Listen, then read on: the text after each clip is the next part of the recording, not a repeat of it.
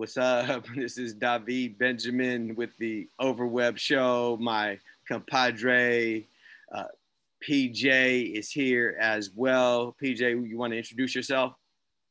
Yeah, um, I go by Phahsa. Um, I'm a uh, definitely a, a digital ecologist at heart. I see the, you know, the world that we live in is uh, is becoming a, a very interesting place, and um, you know, looking towards the future. Like, what? Let's see what we can make happen.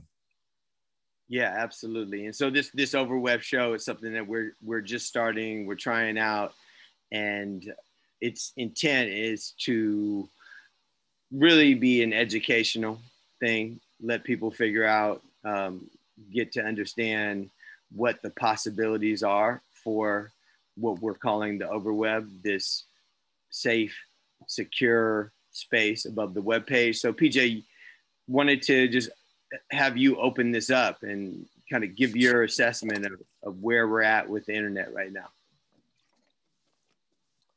Yeah, so it's really interesting when we uh I think a lot of people don't realize when we uh when we interact with the internet, we interact with the internet as a two-dimensional space. And um, I mean, if you've ever played a like a Mario game, Super Mario, and some of these other things, a two-dimensional space is definitely a lot different than the games we play now, where everything's three-dimensional and you're moving in an immersive environment. Imagine if you were one of those characters in that immersive environment from like a, a game made in 2020, PlayStation 5, and then placing that character back into a 16-bit you know, video game console, that character would be constricted significantly. Um, the uh, increased dimensionality of uh, our experience as human beings isn't something that's represented accurately on the web. What does that mean? What does that feel like? You know, and, and we're experiencing it now. It's just the internet is extremely divisive. It's very constricting it's almost a, a, a, form of slavery. You know, if you consider your uh, digital self to be uh, an entity uh, for which you control, like you really are restricted in how you can move and transverse across digital space and time. And uh, some of that may be by design, some of it may be uh, just happenstance, but ultimately, um, what I really like about this concept of the overweb is it's a it's a representation of a web that could actually be free where people can ideas thoughts um, our interactions and our engagement with uh, technology can be something that's more uh, again it's just the, the jump from 8-bit 16-bit consoles to like a playstation 5 level uh, experience um, when interacting with the web and that's just something i'm pretty excited about.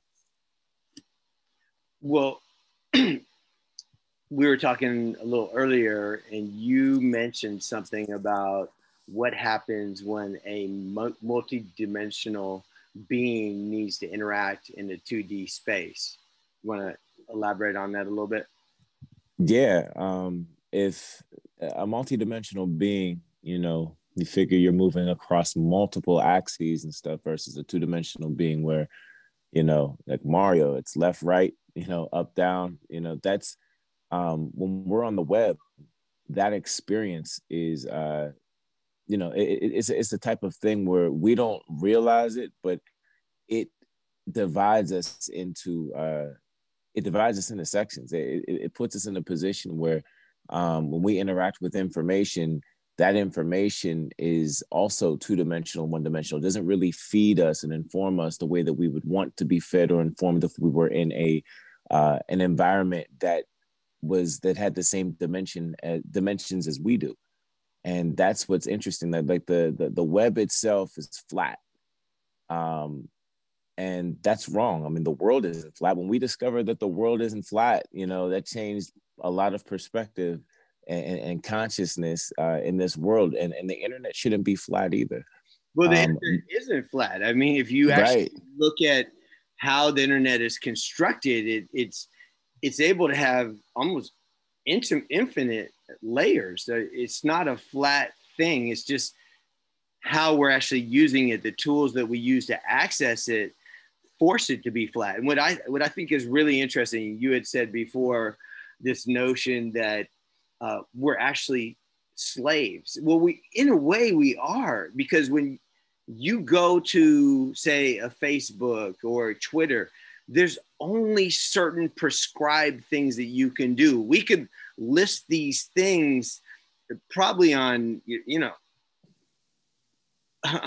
on uh, a, a, maybe within dozens. There's a dozen different things that you can do uh, on Facebook, right? You can post, you can like and comment, you can, um, you know, post an event, but outside of those things, you can't do it. It's it's like you're taking your multidimensionality and and um, flattening it. We're we're flattening the human experience into some very very a very very narrow set of things. And what I what I really enjoyed what you were saying earlier was that when you when you take something multidimensional and you you have to flatten it it, it causes diffusion it, it atomizes things it it it mm.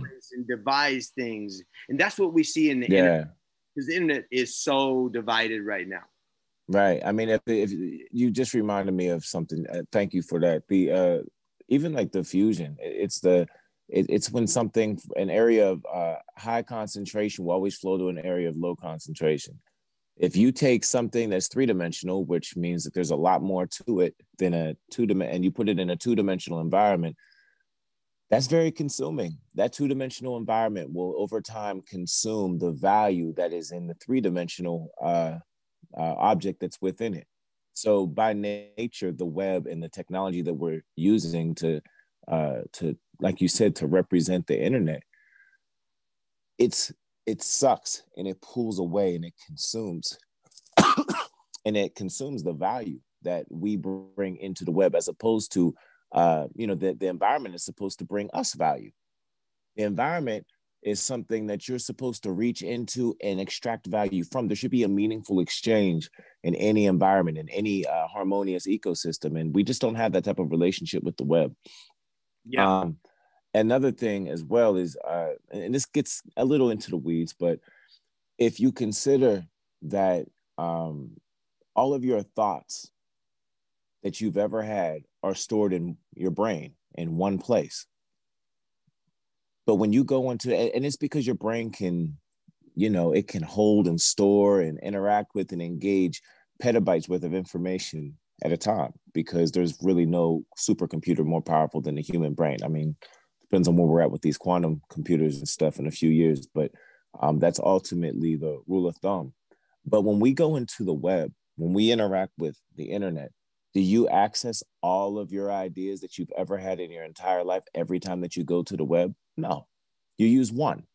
But you may go to the web at one point thinking, hey, I, I really, I'm really thinking about this uh, fishing.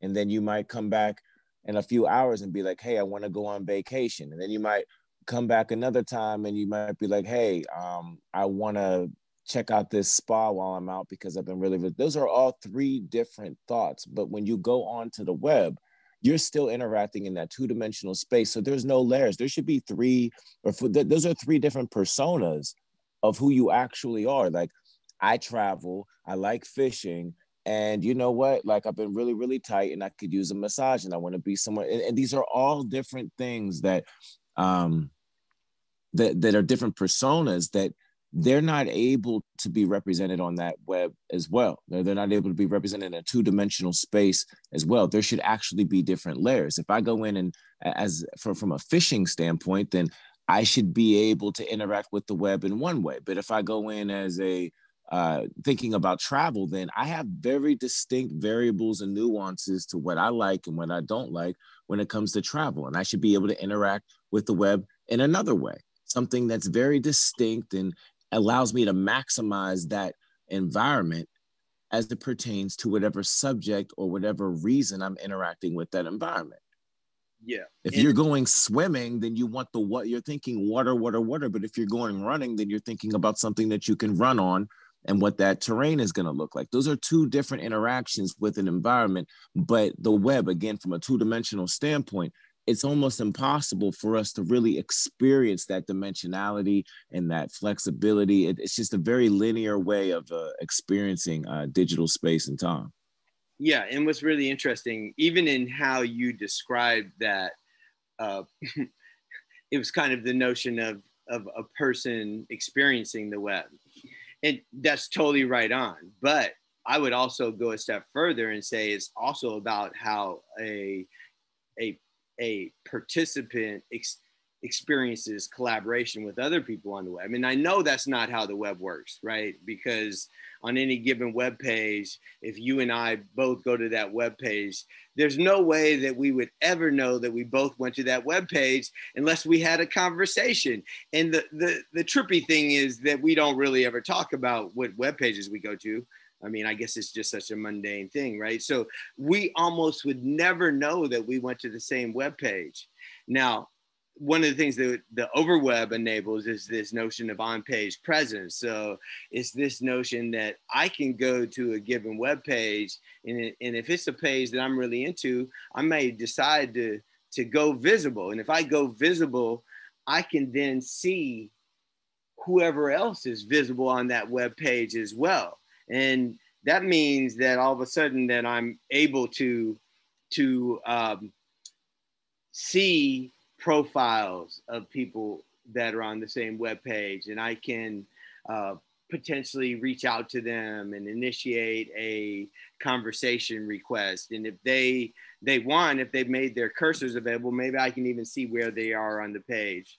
and the the cool thing about this is, of course, that you have the, the opportunity to meet someone that you would have no chance, probably in in in ten lifetimes to meet. It just it just wouldn't happen. So uh, th- that's really, I think, um, transformative. And then this whole notion of multiple personas um, with Overweb, you have one overweb account and it's there's no throwaway accounts so it's it's a safe digital space there's there's no no bots no fake accounts no serial abusers so you have one account but you can have multiple personas so i can have a ski bum persona persona. I can have a fisherman persona. I can have a sports nut persona. I was having a conversation with my friend the other day about this. And it's really illuminating when you have conversations with people around these possibilities. And what, what he was saying,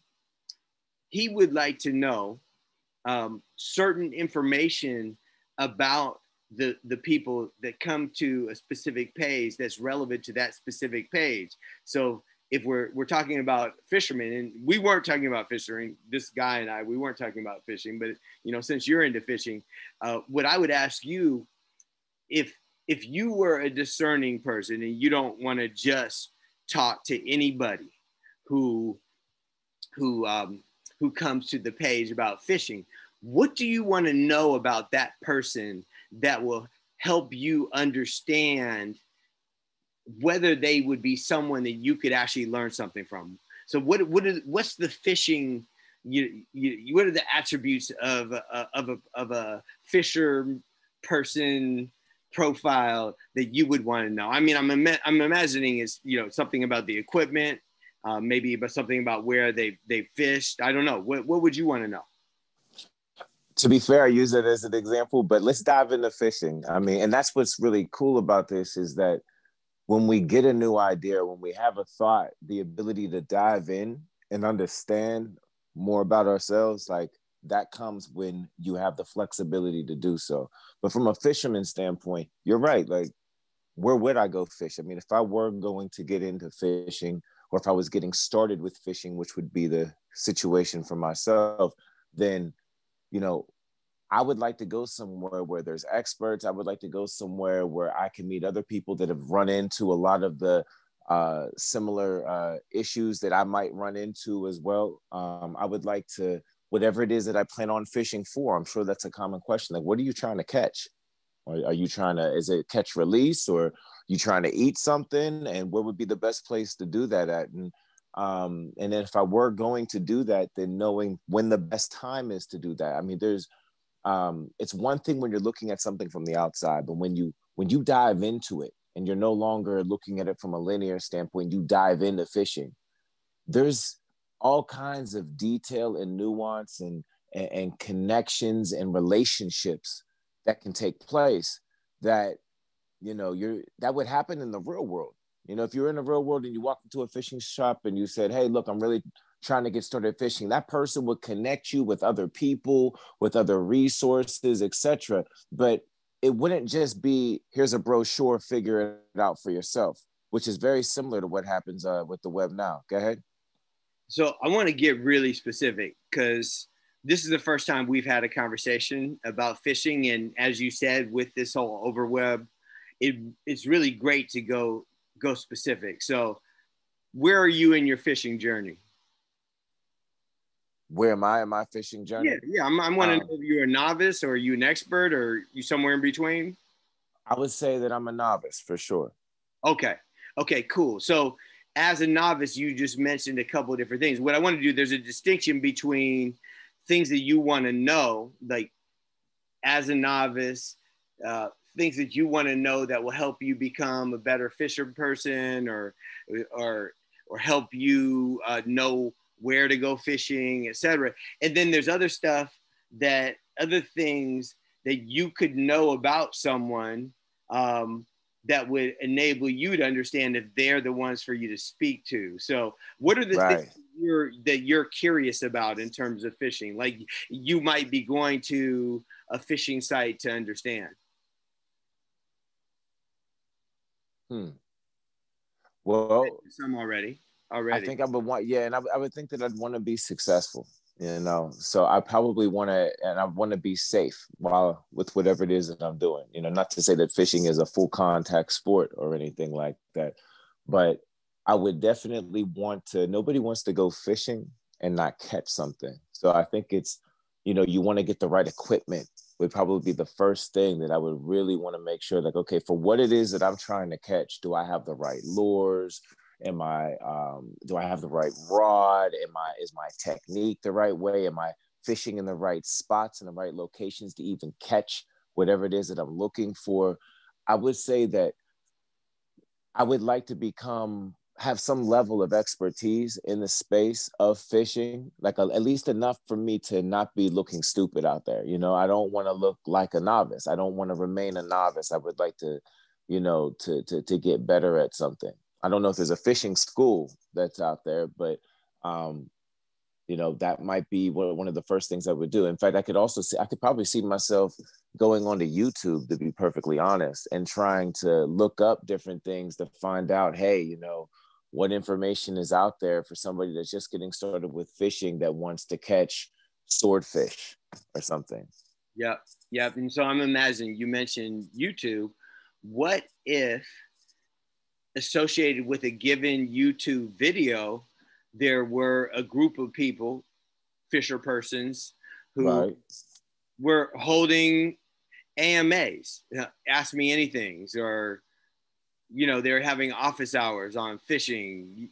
They're on a popular video, or or maybe maybe these these uh, AMA sessions are accessible from multiple fishing videos. But basically, this notion that you're going to a place where there is content around fishing and people can actually have an on page presence. You go to that page, you see that they're there and that they're willing to have a conversation. Uh, would that be valuable to you?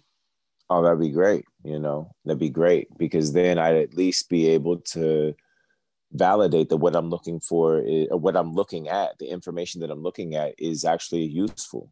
That's one of the things about the web in a two-dimensional construct is that we go to web pages and stuff, but if we wanted to actually learn something, then you better hope you were recommended to go there by an actual human being because with all these bots, I mean, as soon as I type in fishing into Google, I'm going to get attacked like piranhas when you jump into a you know when you jump into like a cool spring you know? Like it, it really becomes a, a an issue to know if the information that you're looking at is even the truth or is it is it fake? Is it legit? Is it has it been helpful? Has it been this? And because there's the web is the way it's currently constructed something that isn't can be made to look like it is yeah you know what's really funny is i i no pun intended, but clickbait.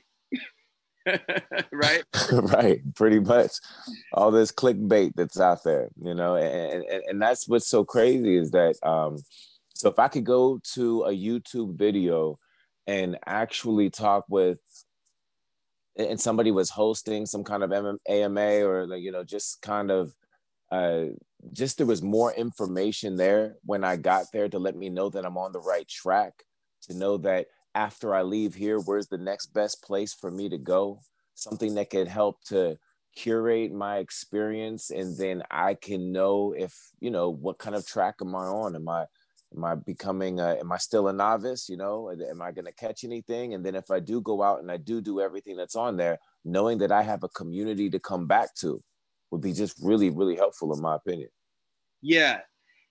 And i'm not sure you know given that you're a novice i don't know if you know much about the fishing equipment. Are you are you familiar with the top brands and no, I'm not familiar with the top brands, but you know, I'm sure that Google is. So I would probably Google the top brands and you know, but but if that AMA session was there, then I would like for I, I don't want to just be advertised to. I would look for that human element. That that that human element is critical. Um, a lot of the products that go on shelves are basically the same product you know so you really got to it's it's not even enough to know the brands you almost have to know what has had a track record of being a good manufacturer because manufacturers have like probably several brands that you know uh, white label and private label their uh, their stuff. So um, I that's the type of person that I am whenever I go shopping. I, I'm not thinking about you know what is this product you know on a commercial. I'm thinking like man like who really made this? What are the ingredients that are in there? Is it gonna last? Does it work um, it's almost impossible to get to that information now with all the advertising that's just constantly attacking at every time. That it's just very exploitative, and, and I'm the type of person I, I hardly even buy things on online because I I don't feel like it's really connected to anything that's truthful. I, I really can't trust the web the way that it currently is constructed. Yeah, I, I feel that. So let me go back to this the, this um, line of thinking that we touched on a little bit before but imagine that there's several people offering AMAs. Maybe they're at different times. Maybe they're concurrent. Maybe there's also another, you know, 50,000 people that have come to this very popular fishing video over the last um, three months. And by the way, with on-page presence, depending on what settings people have, you can see their their history of of being on that page as well if they're visible. So it may wow. be that you were on the, the, page at the same time on that video at the same time, but uh, it, it, yeah, it could be that that they were on there a week ago or three days ago, and you're on it now, so you're able to tell that they were that they were there. So what I'm saying is there could be many, many um, possibilities of people to reach out to and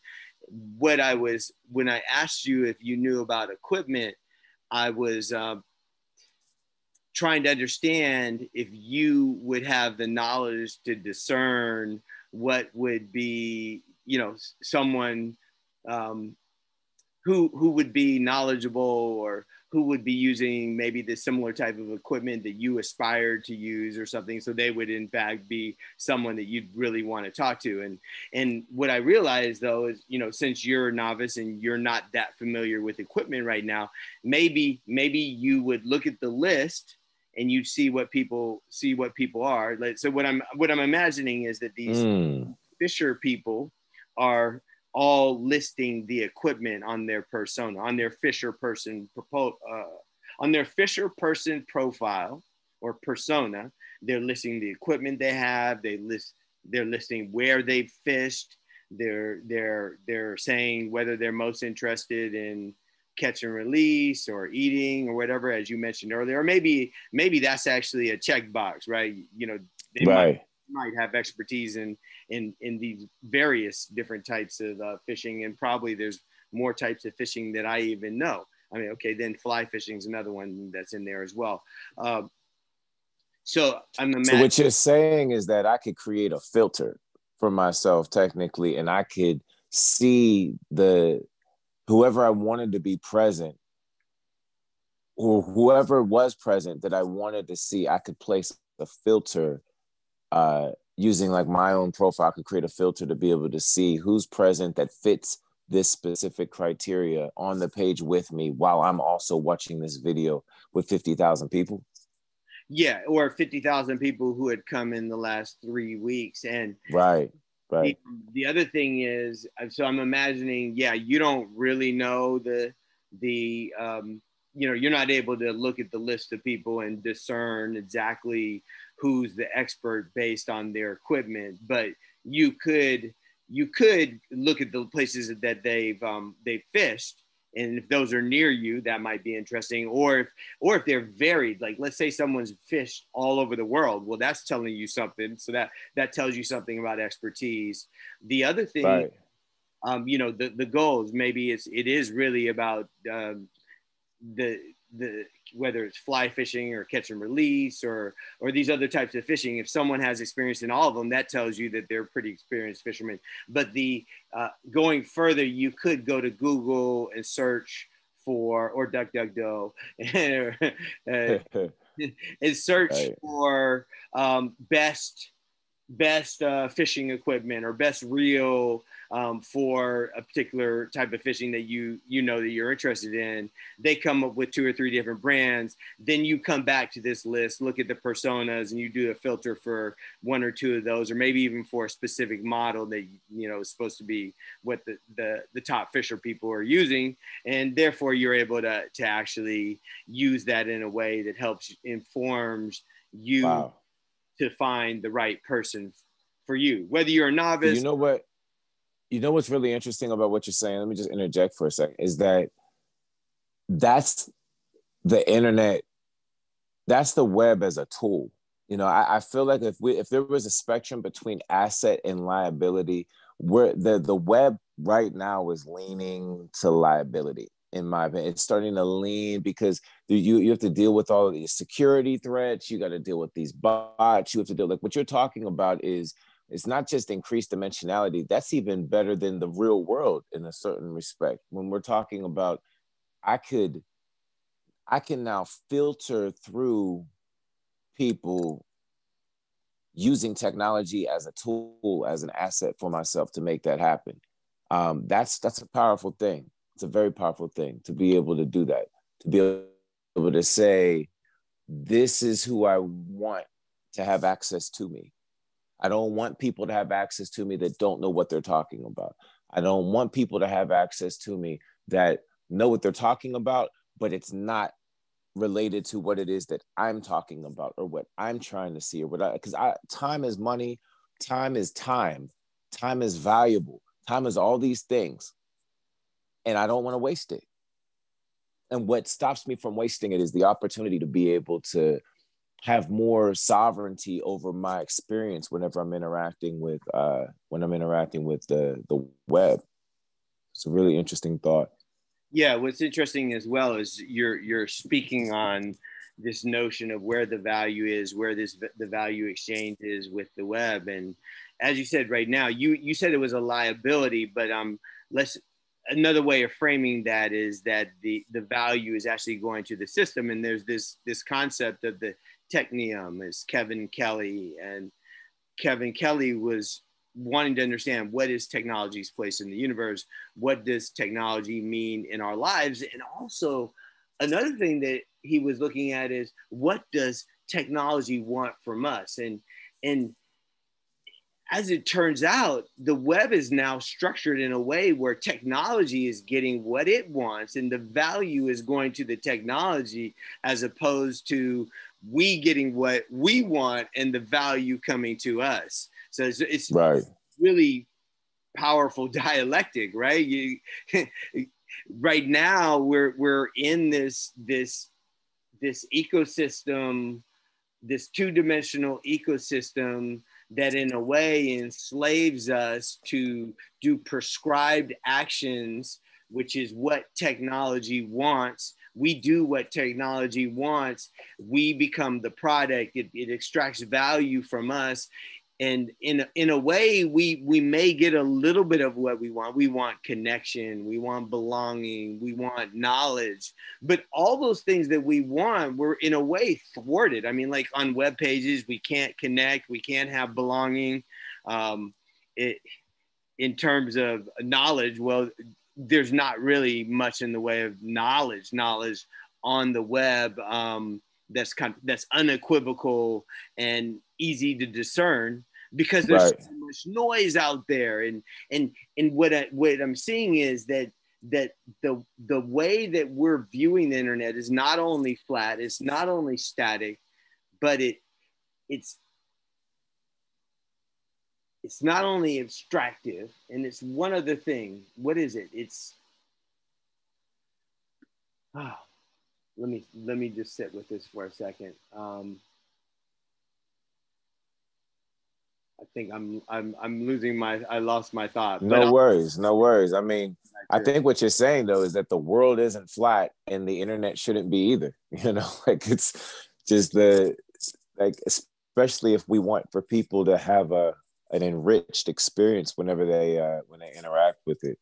Um, so it's, it's definitely an exciting thought. And what's crazy, I mean, we're not just talking about fishing. Obviously, I mean, if if somebody was on here and they cared about beauty and they wanted to really understand themselves better as it pertains to beauty, then they would they would need to have an environment that would provide the the, the multiple contexts that's necessary. They would need to be in an environment that allows for them to extract value from it in a at their own pace when they're ready for it. Like, what good is it if I go to a page and you're trying to sell me on something and you're so focused on selling me on something when I'm just doing research right now.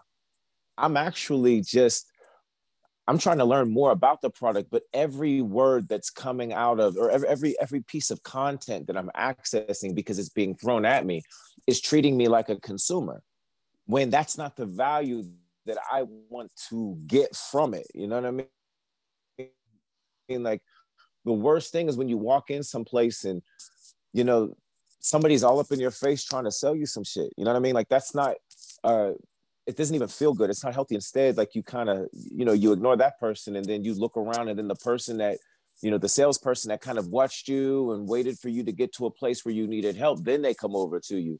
Like that's the real world. Nobody wants something in their face all the time. Nobody wants imagine walking into a store and you've got somebody they have this big sign in front of your face and that's all you can see is that sign. Like that's an annoying thing. I, let me look let me walk through the store. Let me browse. Let me you know let me exp- that's the whole point of a browser. Let me browse. You know what i mean? Let me browse for a little bit. Let me see what i need to see. Let me browse deeper and with depth and with with dimensionality. I'm not just looking at the surface of this thing. I'm gonna i'm gonna pick it up. I'm gonna squeeze it. I'm gonna i'm gonna look behind it. I'm gonna read the tag I'm going to do some things like people don't just want to be treated like consumers. You know, the people need the time to to to digest things and, and people need sometimes we need help doing that, you know. Eh, so sometimes it's like, hey, can you uh you know, can you flip that mattress around so that I can see it, you know, what's going on on the bottom of it, you know, or hey, can you uh you know, how well does this stove rate you know, as it pertains to gas or electric usage or something? What's the voltage of it? Like, like just there's depth to life, and the and the web is. I mean, you're lucky if you can get that. I'm not saying it doesn't happen at all, but you're lucky if you can run into something like that. And and when you start talking about health, you start talking about things that are a lot more important than fishing, then I think that the stakes become higher. You know, like you start if you advertise to somebody and they don't have the the thought pro- you know they, they might not have a process. Maybe they're just a very quick buyer you know we live in a microwave society and, they end up getting something that they're not happy with but you sold it to them so you made money. If that's what the measurement of success is going to be then i just think we're in a, a that's a slippery slope. I'll just say that much. If, if success is that you got somebody to buy something but they weren't necessarily satisfied with what they bought or they didn't get the utility from whatever it is that they made a purchase from or or, or the information that they were trying to gather they wrote a paper on it but that paper wasn't as good as that paper could have done could, could have been because uh, the information that they found was only they only the only reason they were able to find any information on is because of SEO. So it was it was that, that's that, that's all I'm getting at is that the web right now treats everybody like a consumer and it values um, putting something in front of somebody instead of uh, valuing that what is in front of somebody is what they actually want to see. Yeah, it's oh my god, that what you just said is actually what I was getting at earlier. So not only is the web, yeah, as we as we're viewing it through these quote unquote browsers, is it flat and static, but it also treats information and people as commodities. So the information on the web, its only value is the extent to which it can change your behavior. I mean, that's how the technium sees the sees the information. It's not that the information is intrinsically valuable in it being knowledge and you're being able to use it for something that actually transforms your life. No, its value is the extent to which it can get you to do something. That's where the values is, is in information. And that's why it's okay for it to be in silos. And then actually, if it wasn't in silos, if it was all connected, then the, the technium would have a much harder um, it'd be much harder for it to extract all that value from it. So um, I was thinking if you have some closing thoughts that you know we might um, both have some closing thoughts and um, close up this first of the overweb sessions. Um, yeah, no, just uh, it's exciting to be here. It's exciting to be living in this time. Um, I think that this is something that is uh, it, it's it's something that needs to be addressed. I mean, we're, you know, we live in a world where automation and, and, and technology, there's, there's a lot of jobs that are going to be, uh, I think, lost to technology. And we got to start thinking about um, how can we create more space for new opportunities and stuff and for new ideas and new innovations and stuff to take place. And if we continue to look at a web from a two dimensional standpoint, I think that um, we won't have that diverse pool of thought that's necessary for us to uh, to create a, a bigger and wider future for, for future generations and, and even for this generation. I mean, technology moves fast, and, and I, I just really feel like um, if we want to create space to to to solve these problems that we have, then we need to you know, we need to stop thinking as consumers. We need to start thinking about value. We need to start thinking about the environment. When we talk about human centered design, you are a product of your environment. And the web and technology and this digital environment that we've created is a type of environment that's turning us into something. And we really have to think about what that is. We really need to think about do we want to be two dimensional? do we want to think in a linear way as people because it's happening it's happening you're seeing a lot of just you're seeing just there's just a lot of shit you know there's a lot of things that are happening and i think a lot of it has to do with uh, uh, having an unhealthy relationship with technology and um, you know why not start with the web? It's like the biggest hunk of data you know chunk of data that exists on the on planet earth is is in the internet itself. And we need to stop seeing it two dimensionally and recognize that man this thing is an environment. And, and instead of being squeezed for everything that we've got to, to get into it we need to have space to breathe when we're in there so that we can start to think about uh, what happens next. That's it for me yeah and i'll just end it by saying that as rich as this conversation was, this is just the tip of the iceberg when it comes to the overweb. We could talk about any subject and it would be new for us, right? I mean, we, we never talked about fishing together. I didn't know you were a novice fisherman and, and I could actually go way deeper. We could talk about a fishing digital nation. We could talk about on page interactions and how you might use smart tags like the the conversation smart tags to ask a question uh, you know to these these expert and and other and other other fisher people. So that there, there's this possibility of of going really deep and and exploring how technology can actually work for us so that we will be able to actually um, focus on some of the the really important things that need need to change on this planet. And we're on a on a self-terminating course at the moment. And we don't have to be. And you know inshallah we won't be um, forever. But at the moment we are we need to recognize it and we need to make a change. My perspective it, it starts with the internet. Um, really it starts with the self but our our technologies as you said earlier they they shape us. We make technologies we invent technologies they reinvent us.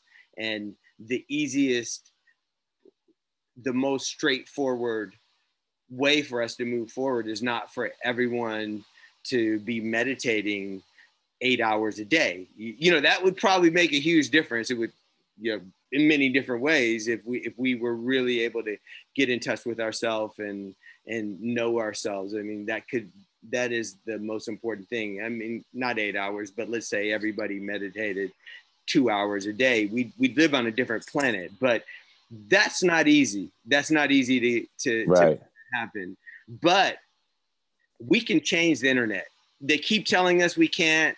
They keep telling us that that it's it's got to be the way it is, and that we can you know make little changes here and there. And you've got all these different, um, not all these, but there are groups of people that are focusing on fixing the internet like mozilla and others. But invariably when i when i see what happens in these spaces they're they're talking about how to have a successful startup and they're saying you need to focus in on one little thing um, and do that really really good so that you can then you know become great carve out a space get a bunch of users get traction and um, then get vc money and ultimately uh, you know most of them they want to get bought out by a google or a facebook or something like that. And so the the machine you know once again gets its needs met. But the the problem with that that when we're just focusing on little tiny things i mean obviously huge things can come out of something small. And we see this with a seed, right? So this little tiny seed is encoded such that ultimately it can become a, a mighty tree, but there's also the forest. So I guess when I'm, I'm i just want to close out by saying that thank you, Phahsa, and uh, you know for your brilliance and for engaging with me in these conversations. And we'll be continuing these you know if we get good response i'm i'm asking any of the folks that that made it to the end. I mean what did you think about this experiment? Was it useful? Did was there anything in this that that resonated with you? Where did what we say make sense? Did did you did you get it? Um we don't know. These are these are new ideas that some of them are new for us. Like i said around Fisher people. Um, we don't really know because it's it's the it's so new, and um, we just want to understand if if this is in fact providing value for people. If there's something that um, in particular was valuable, let us know. If there's something you think we can change, let us know because you know, if this is valuable, then we'll be doing it on a regular basis. If it's not valuable, then we'll be looking to get the information out in some other ways. I want to also mention that uh, for those of you who are still with us, there is going to be an overweb challenge on January 21st. It's to hack our own uh, notion, ideas of what the, the web can be, will be, and um, we're, we're basically going to be creating a container where uh, you can come together with, with uh, teams of, of, of other curious people and explore where the internet could go in a particular industry, a particular endeavor, uh, not the internet, the overweb. Well, yeah, the internet, the overweb, same thing, right? Um, it's just that people don't really recognize the overweb yet. But yeah, I think it's it's it's to create yeah. space. Yeah, go ahead. No, I was just gonna say, like, that's another thing is that we're not talking about doing something that it's already there. Like the overweb is actually something that actually already exists. Like people are already multidimensional. People already use the internet for a number of things. It's just the environment itself has never been represented the way that it actually should be. So we're not talking about reinventing the wheel. We're talking about, you know, putting air in the tires, making sure the wheel isn't flat anymore. You know, it's just a different thing. Yeah. Well, we can end right there. Once again, uh, thanks. And if anyone has any any comments, thoughts, suggestions, recommendations, who should we speak to, let us know. We're trying to make this thing, this place, uh, make it work, make it work for us, create value. Signing off. Peace.